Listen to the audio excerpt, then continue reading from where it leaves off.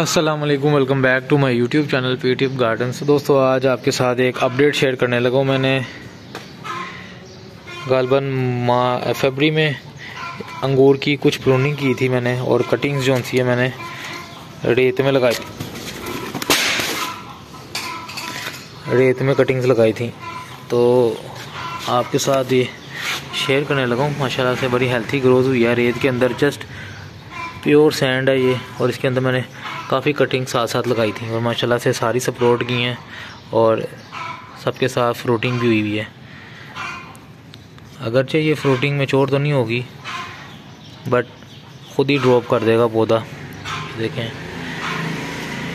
ही sand के अंदर आप अगर कटिंग्स लगाते हैं तो मैंने देखा कि बहुत अच्छा रिज़ल्ट मिलता है और बहुत जल्दी ग्रोथ स्टार्ट हो जाती है पौधे की। रूट्स भी बड़ी जल्दी निकलती हैं। सो अंगूर के साथ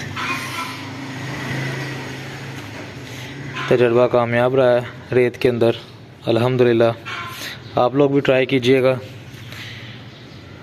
और मुझे ज़रूर बताइएगा।